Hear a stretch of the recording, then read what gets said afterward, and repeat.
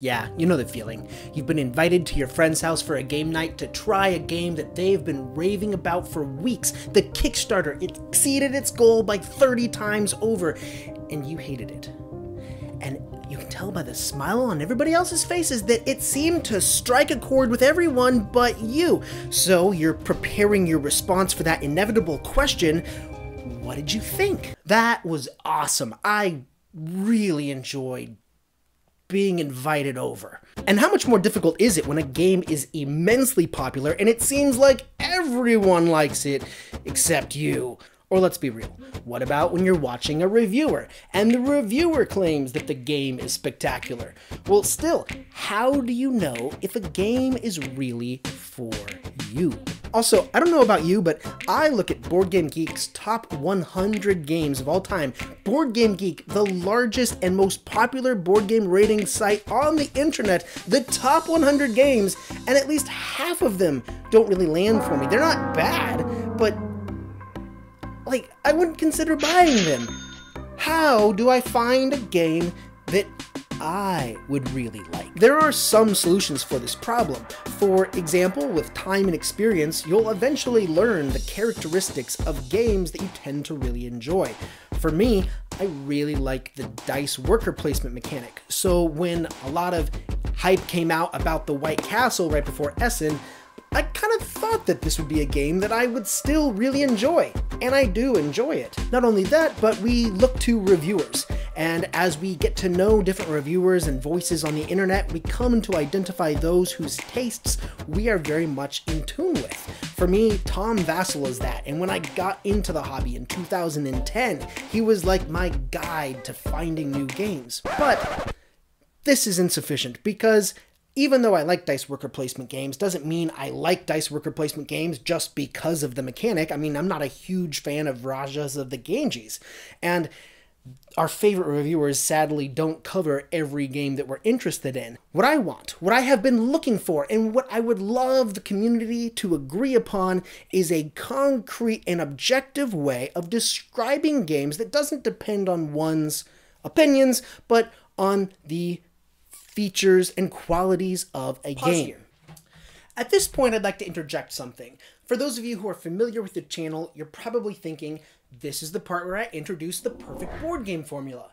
Except I'm not, because even though it was a system that I devised to describe board games, I made two mistakes with it. One, it wasn't very intuitive people didn't understand what I was talking about when I rated theme and mechanics. And two, I used a 10 point system to rate these attributes, and a system like that lends itself to this expectation that these are going to be opinions or my preference about these games, when that wasn't the goal. I still want something like that, but something objective and something that makes more sense. So, with that context in mind, let's continue the video. Oh, and while I have your attention, if this is a project you're interested in, maybe consider becoming a patron. Thanks. Now, let's resume.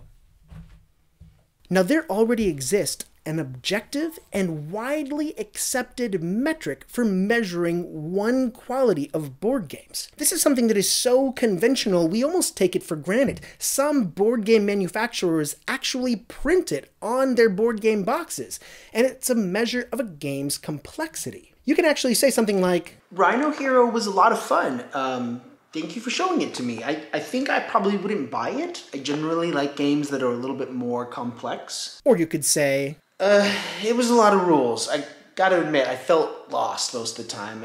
I think this level of complexity really isn't for me. And this is perfect. When it comes to complexity, it's an objective way that you can describe how you feel about a game that is agreeable to everyone.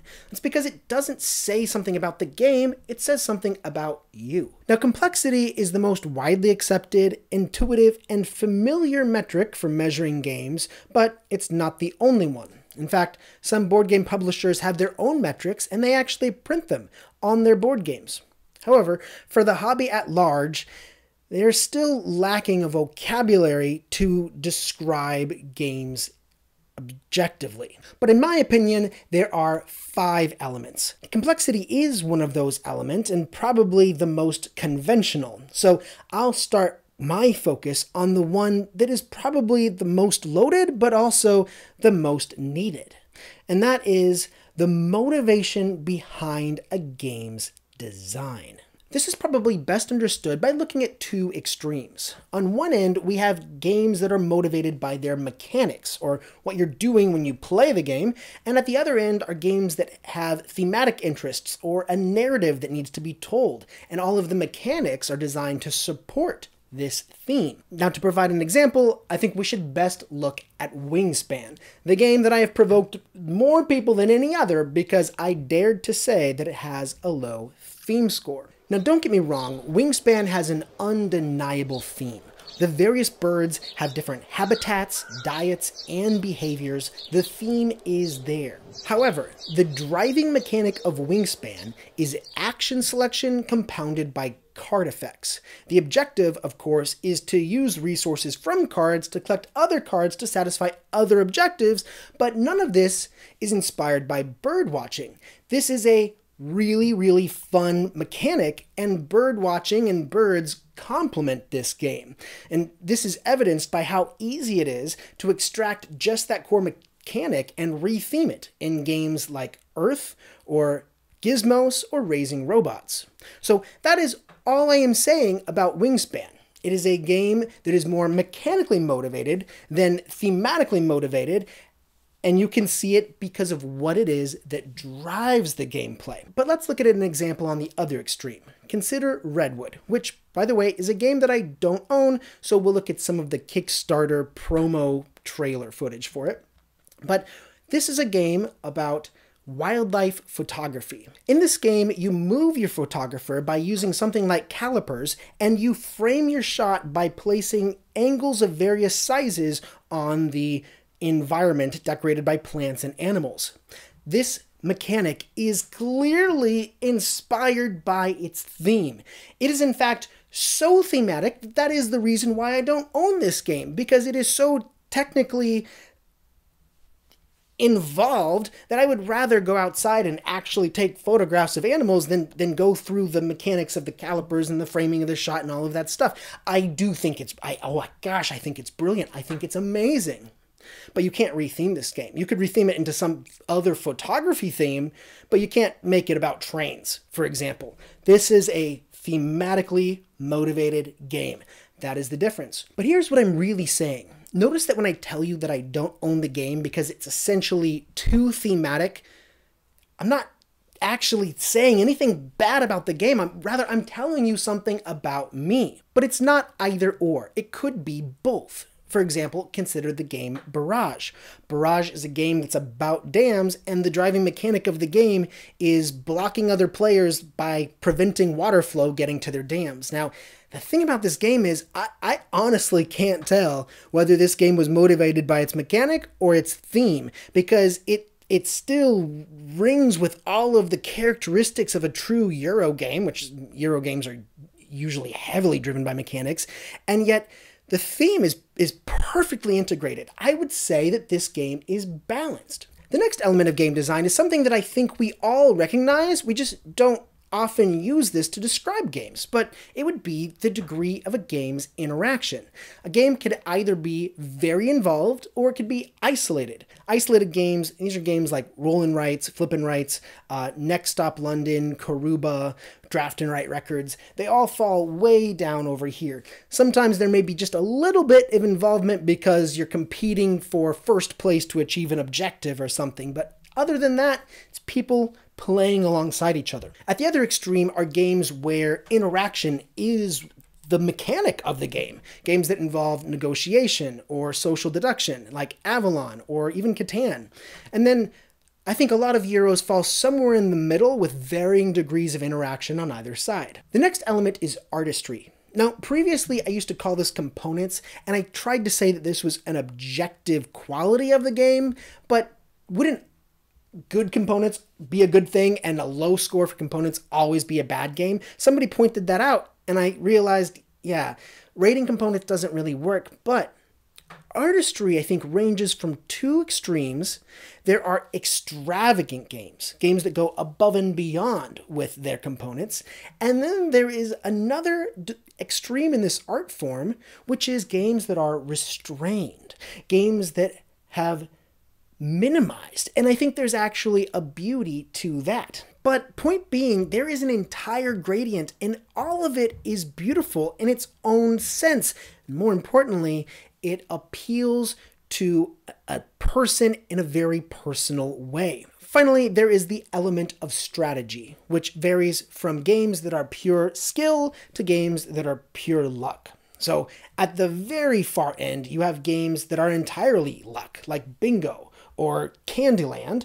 And then just one notch up from that are games that are all about luck but have a strategy that can be played predictably. So, games like Cribbage or Blackjack or Yahtzee, these are games that you will certainly lose if you don't play a strategy at all, but the strategy could be calculated.